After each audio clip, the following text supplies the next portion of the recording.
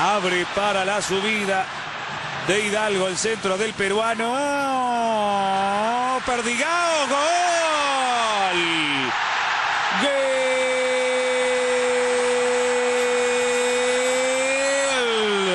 de Internacional de Porto Alegre.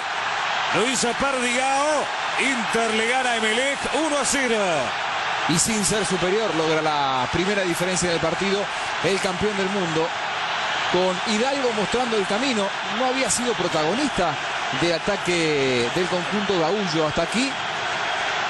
Los defensores ecuatorianos que se quedan imantados con el balón observan la acción, pero nadie va con el mediocampista central. Miren con la libertad con la que le pega Perdigao. Imperdonable para un conjunto que se precia de defender bien en este tipo de situaciones.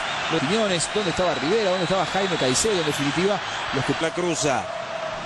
Se deja estar Corozo, le robó Indio. Le queda el gol a Pato, parecía Nopsa y esquivó el arquero. Ahí está, la tiene Pato, llega para el gol Indio. Mira el centro para Indio. ¡Gol!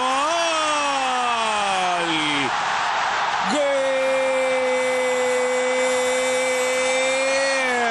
de Internacional de Porto Alegre. Indio de cabeza. Inter 2, Emelec 0.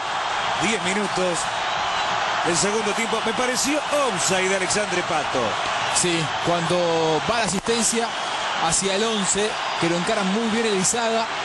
Parece que se abre demasiado, pero ahí levanta la cabeza y lo ve llegar clarito a Indio para colocar el cabezazo. No protestó ningún jugador de Melec la posición de este número 11. Está claro que no levantó el banderín el asistente. El centro de Alexander Pato que lo ve llegar clarito a Indio. Pato, y ahora quién lo frena Pato. Se va, se va Pato por adentro Yarley. Se viene Alexandre Pato, lo está encarando José Luis Quiñones. Sigue Pato, amagó, se va a filtrar, sigue Pato al arco. Golazo. ¡Gol!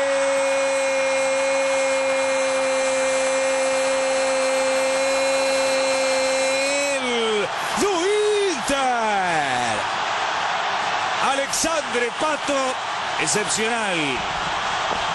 El pibe, Inter 3, Emelec 0. ¿Cuánto le quedará a Pato en el fútbol brasileño? Cuando aceleró marcó la diferencia.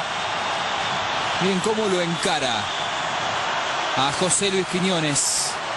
Y qué bien cruza el remate cuando le salía de frente Marco Antonio Quiñones. Nada para hacer para Elizaga.